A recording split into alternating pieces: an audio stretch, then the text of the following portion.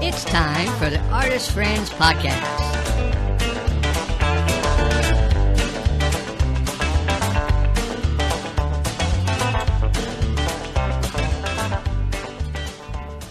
Hi, I'm Diane Hunt.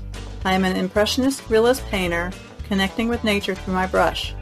I work in oil paint and watercolor, and I live in the countryside of Maryland's eastern shore, not far from the Chesapeake Bay. You can find me online at dianehuntstudio.com and on Facebook and Instagram at Diane Hunt Studio. Hi, I'm Constance Brosnan of Steve Brosnan's Jewelry Designs. I live in Oklahoma on a prairie and I make uh, handmade jewelry in silver, copper, and brass. I'm an artist that paints. I paint pastels and in oils sometimes. Hello, this is Clyde J. Kell. I'm the host of this podcast.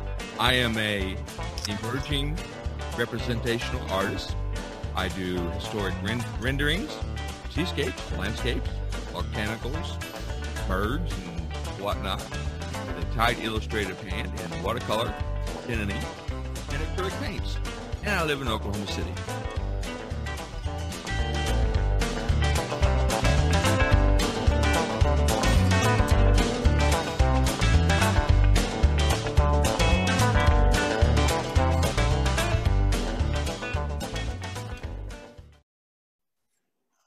And here we are once again. It is Monday, June the 28th, the last Monday of the month of June.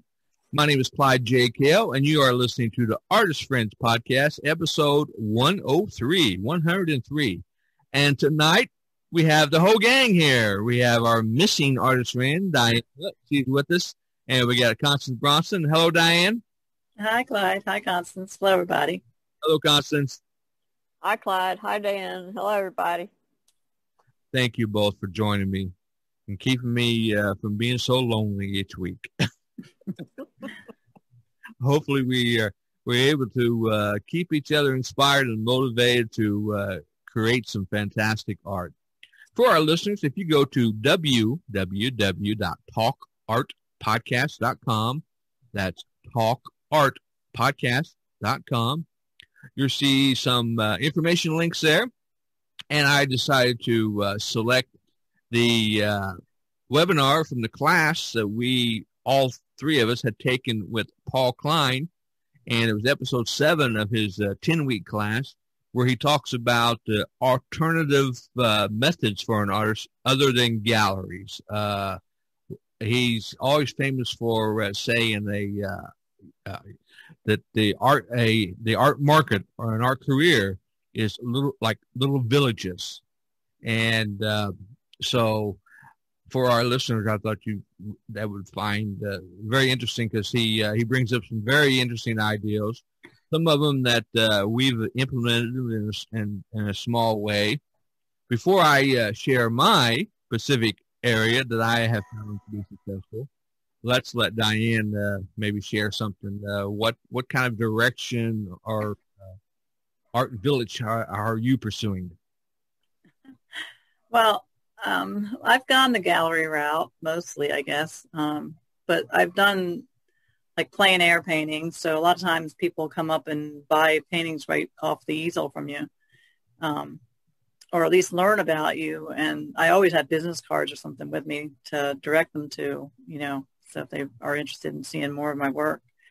And I, I think that's like a big thing is anytime you had, have any opportunity to talk with people and then, you know, you, you get in the conversations, people ask you what you do or whatever, and you can, you should always have your business cards or um, you know, information to give them so that you can direct them to find you later. Like, because you can only tell them so much in a, you know, five minute conversation. um, so that's been pretty much um, what I've been doing, I guess. Other than the gallery stuff. And I mean, I've been going, I do it shows and that kind of thing too. So, so when you said you do your plein air painting, what, you, do you set up in a uh, public area or a, uh, like a art fair area or someplace or? Um, well, I, I'll either set up sometimes. I mean, it just depends on what I feel like painting, but I belong to a group, a local group here that we go out every week and paint together. And they usually um, find locations for us. Sometimes it's on private property. Sometimes it's at um, local parks or um, arboretums or something like that. And there's always people walking through those kind of places. So not so much the private property, but the um, you know the public parks and things. Okay, so. that's interesting. Really, I didn't know you did that. See, I learned something brand new. Constance, what's uh, what's your village? and You consider your village, you know, for for creating your art. And if you don't say it, I'll say I'll say it because I I know it already. But for our listeners, so what do you think my village is? I mean, I don't really consider myself to have a village other than Etsy, and I don't really sell the artwork on Etsy. I sell the jewelry on Etsy. Jewelry. And I sell the artwork on Daily Paintworks. Your jewelry. Your jewelry is a form of art. Your jewelry. Yeah, it is, but I do like to paint. Um, I know you're transitioning into painting, you know, mm-hmm. but uh, your jewelry, you pretty much got yourself established in yeah in that. Yes, uh-huh. I have a Facebook page for the jewelry, and I also have a Facebook page for the paintings, uh, and then Instagram. So I do have social media set up for both, for both um, the jewelry and the artwork. I started painting again at the beginning of 2020. Um, was it? That's when I started painting again, wasn't it? Yeah. Um, just before the the the pandemic pandemic, and then that kind of slowed everything down. You know, it did. Yeah, I got I got sick in January I, with uh, COVID. Um, Will and I both got it, and then we didn't know we had that, but that's what the doctor said we had. Uh, then I I got sick again in September when I got a shingle shot from the shingle shot. And I've been kind of down a while with that, but um, I'm starting, I think I'm starting to get back, back a handle on it. Um, so I want to start getting painting again. Yeah. Start working in the studio again, get things back rolling. Well, I know your story is outstanding because the two uh, of the three of us, Constance and I, I have met personally she's had uh, I've met her two different times when she attend had it set up at a uh, fair or a show in uh, Oklahoma City. Yeah, I do like the fair route and the show route, but I'm I'm 70 and I'm going to have to need I'm going to need some help. I don't know how I'm going to go about getting help, but I don't know if I can maybe get some help, maybe somebody from a college or something to help me. Um, I haven't ever had help, but you know, I'm yep. 70 now. it's getting a little harder to haul that stuff in and out of the building. so tables and tents and yeah, and it's it's getting harder every year to haul that stuff in and out of the out of the buildings and and do it. You know, so uh, Will works like six days a week, and it's not going to slow down for him now. So I'm going to need some help to. I just don't, I'll have to figure out how to get that done. Um, Whenever the uh, the the discussion, you know, uh, what Paul Klein was saying was as an alternative, not necessarily uh, selling only selling your art through a gallery. And he wasn't exact. He wasn't talking exclusively visual art, painting. I mean, he was talking sculpture, any kind of artwork. And your jewelry is a form of artwork. So that is, yeah. I had not ever thought about selling jewelry through. Now, when I was in Florida, I sold jewelry through a little small bead shop. But um, I ended up not, ended up moving it back out of the bead shop for some reasons. Yeah. Um, and I did sell some artwork in a art gallery in Florida, and uh, and then I I put seven paintings in, and I got three paintings back, and I did not get paid for those paintings. So I've been very protective of my artwork since then. I know I'm not a great painter, but you know, it's kind of hard to put seven paintings in a gallery and only get three back and then not get paid for the other four.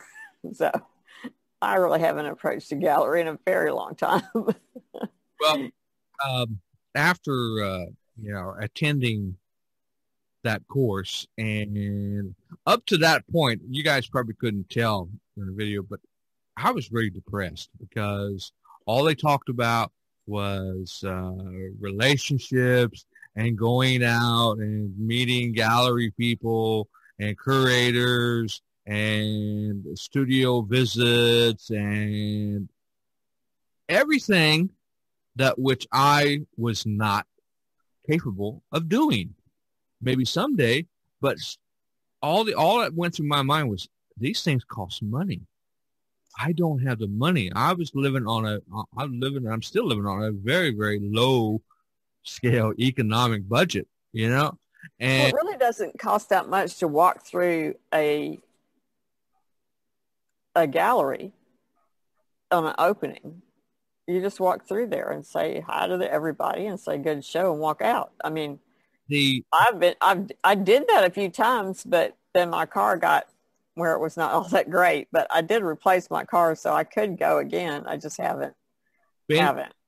What I'm getting getting around to was those all those things was going through my mind and everything, and so even I was energized to start an art career after the course was done, but then I really had to do some serious thinking and everything, and then I came across you know online galleries, and I put some of the links of some of the galleries I've worked with and uh, uh, that are online for our for our for any of our artist listeners who are not in a in a situation to where they can go the traditional route. This is when Paul Klein talks about you got to find your village. This was my village that yeah. I that I found, and when I started out with the first, I think Diane and, and Constance knows this story. Uh, the the first, uh, I would say, maybe six, maybe seven, seven submissions to galleries were turned down flat. I paid the money. I paid the twenty dollar application fee, the sixteen dollar, the thirty dollar application fee, and crickets. Not a fly, nothing. I was even more depressed then. Oh my, you know, I just crickets are horrible. you know this is terrible. Cricket's are terrible. These people, you know, this is a scam, and I was really, you know, uh, getting up. You have to get used to hearing crickets because I toughened up and I submitted one more time, and then I got accepted.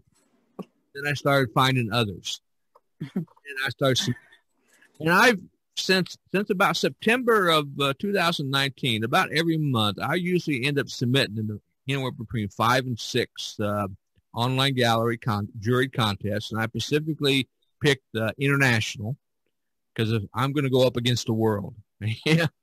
and uh, uh, the um, I look over the gallery to make sure that they have a, a they are predominantly representational art because there's no sense in me submitting representational art to an abstract only. you know, that's another story too. I even want, but anyhow, in conclusion, I forged my own path with these people, and I established with when Paul talks about a relationship. When you continually submit to a gallery, even if you get rejected come back, they get to know you, they get to see you, and they say, "Well, maybe you know, let's give this guy a chance." And that's all I can, you know. Plus, the reason why I was rejected had nothing to do with me.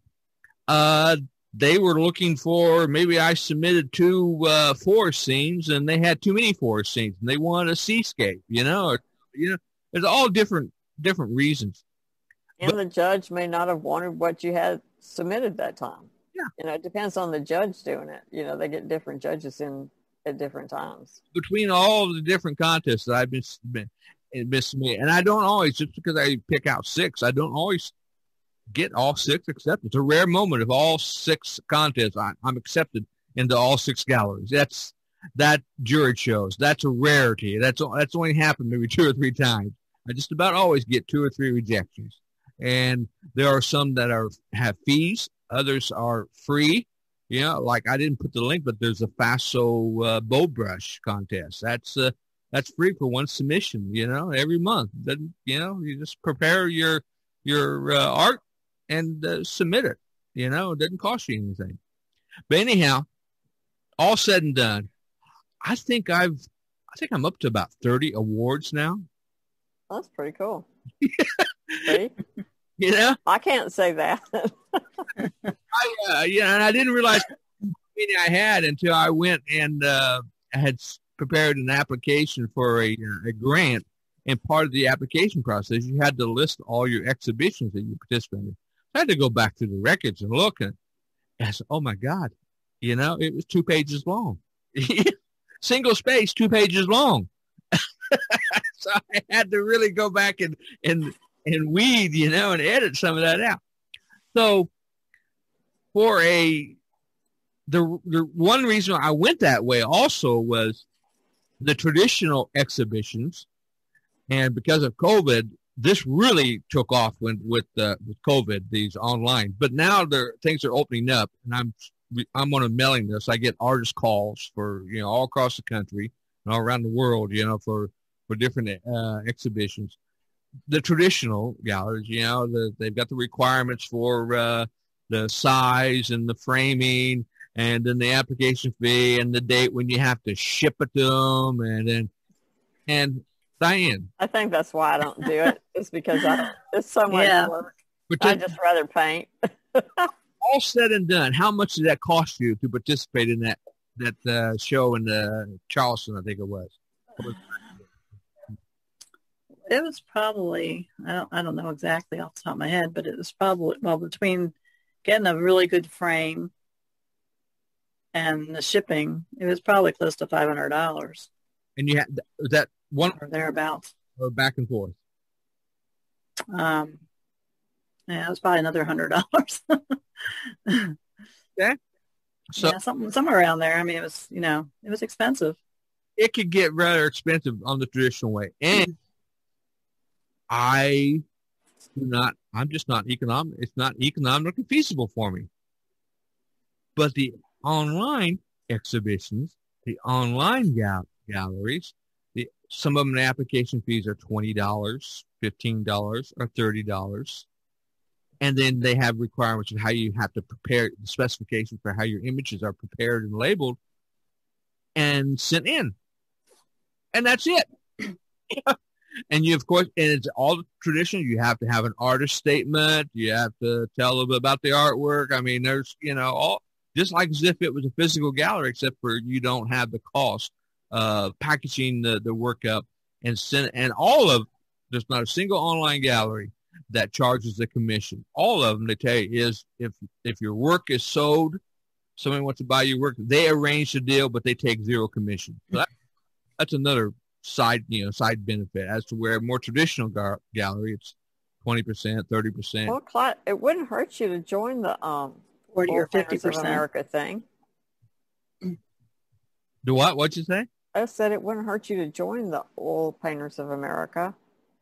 I mean, I've- it's just to have your name in there with them.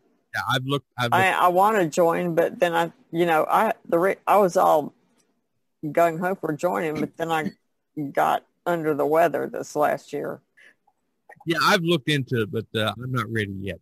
They're, they're, All right. Well, you know when you're ready, you know, but but, um, Well, it's it is seventy dollars to be a member of Oil Painters of America, and you have to get you have to submit your paintings. I forget how many, and they you know they they jury you into it, so it's not just a membership you can just join. yeah, I, I wanted to do that, but I got, you know, there's another national organization called, called the, um, it, it- called NOAPS, uh, the National Oil Painters Oil and acrylic.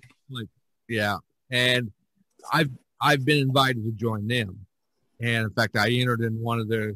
They they have traditional uh, shows and they, they have online shows. And I entered one of my pieces in their online show, which is how I got invited, you know, to uh, to join them. But they're like fifty dollars a year or whatever. But uh, I'm I'm not quite ready to make that that commitment.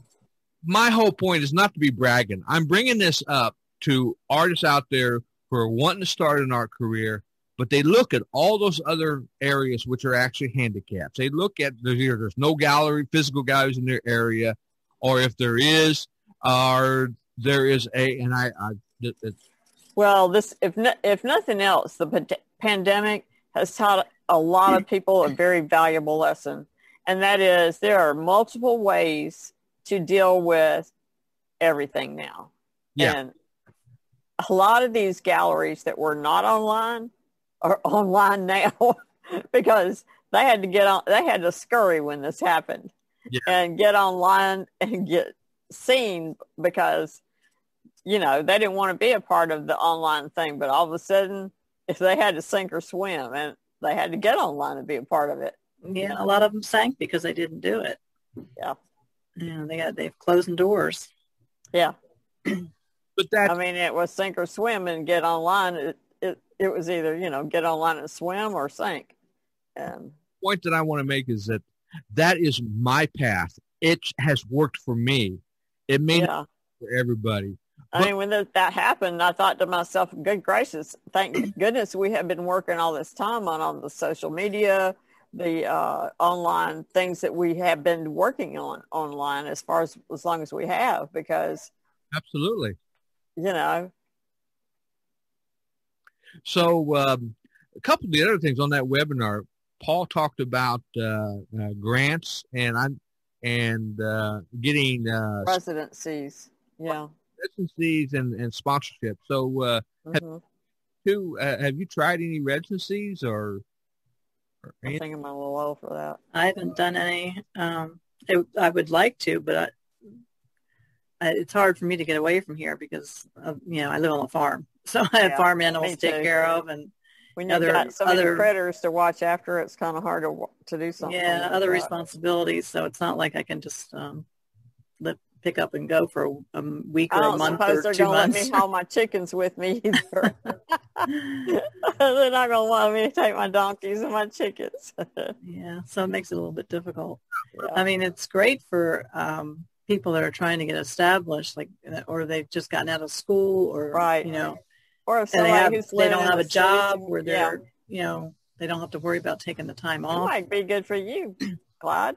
I mean, Well, it's it's a thing that I'm, you know, I I it, you could give that serious thought. I mean, back of my mind it certainly is as a yeah as as a uh, something something more likely to happen in the future. You know, yeah. as long as I I, mean, uh, you can Uber ride there. I have Just take, your, art supplies and just get it, you know, well, if I got access to the internet, I could because I had the responsibility of running my internet radio station. right. So that yeah, I have to have internet access. You know, to hmm that's that's a full time job. I mean, you know, every other day uh, preparing the radio shows and curating the shows and then upload them to the server and then programming and I mean that's that's a uh, you know a task that I do in between you know working on art. I mean, you already have, you know, some of the people supply meals. Some of the people, you know, you Instacart now. You just have to drop your feet off like, you know, What are you what are you trying to push me out of the house? hey, you don't live here at my house. I mean, you know, it's, You're trying to push me out of my house. well, you might you might end up someplace where you can, you know, not be so not be. uh You can be in a in a an atmosphere that's uh more conducive to be plein air painting or something. I mean, it you know just I- it's I think worth- it's residencies worth are- looking. Yeah, I think residencies are really great because you do take kind of step out of your own life for a while, Yeah, and you're in a place where you don't have to worry about, you know, all the family stuff or anything else. All you're all you're thinking about is your artwork, and you can get an, an enormous amount of work done that way. yeah. Not worrying about bills or Yeah, Or- what stuff that's going on around you that you have to worry about normally. It's just, and then there's probably, you know, you can just step out and go plein air painting or something. Usually it's just, uh, I don't know. Don't they have them on campuses or something? I don't, from what I There's understand. all different kinds. Yeah. There's lots of different kinds. different kinds. Yeah. But um, anyhow, I, I wanted to share, I- you know, and I, I shared those links for some for folks. It, that's my village. That's that's where I have found the success. And the thing about it is, uh, if uh, you know, I sell art sometimes, but I certainly don't sell enough of it to make a living at it, be self sufficient. But in between selling art, uh, preparing artwork, and entering in these in these uh, exhibitions, and that, and then when I get award something, that's a nice spirit lifting, ego boosting moment. you know, it really uh, and and It's validation, and it's always nice to be validated for something you've worked so hard on. Yeah, absolutely. And and the thing is, see, because they're online and they mo- all of them they have archives. So uh, when you do, if you go to Google and you type in Clyde J. Kell artists, I'm everywhere. Not just my own sites. I mean, I'm on all these other people's you know sites too, and that's that's part of getting established as an artist. Yeah. Got to be found on Google. They got to find you on the internet. Yeah. so in the end, that's that's a village that worked for me. Like I said, it may not work for everybody, but uh, these are resources that are easily accessible, very economical, especially when you don't have any money to go the traditional route, and or you just don't have the community in the area, and or you're not the real social type, or you don't you don't, and that this is a big thing that always upsets me or irritates me rather than upset. It just irritates me is that if you don't travel in the higher social economic circles, you know, you're not with the toady hodies, you know, you're, you're, So you know, you're walking into some place, you know, who the hell is this guy? Yeah. and it's, it's sad, but people make you feel, you know, people, they have a tendency. We have cliques, you know, if you're not part of a clique, well, then as a starting artist, you start, well, I ain't got a chance. No, you have a chance. You can forge your own path.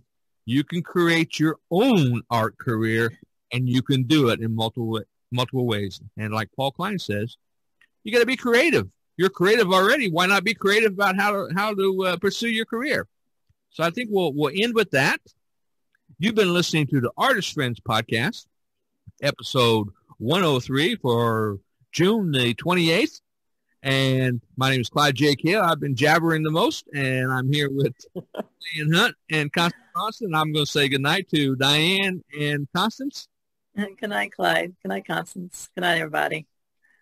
Good night, Clyde. Good night, Diane. Good night, everybody. Thanks for listening. I second that. Thank you so much for listening. And that'll be it. Until next time.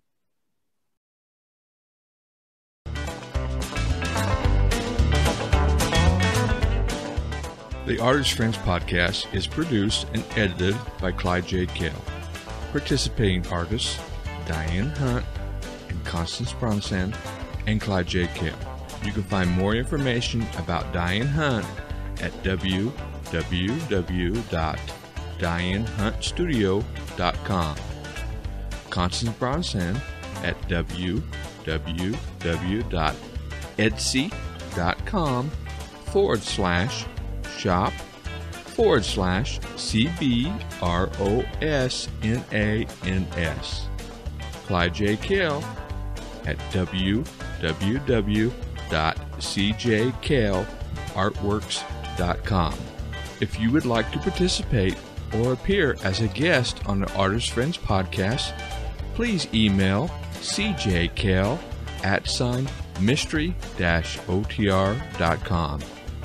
If you enjoy these podcasts, please give us a thumbs up or a star rating. And most of all, send us your comments. This podcast is issued under the Creative Commons license.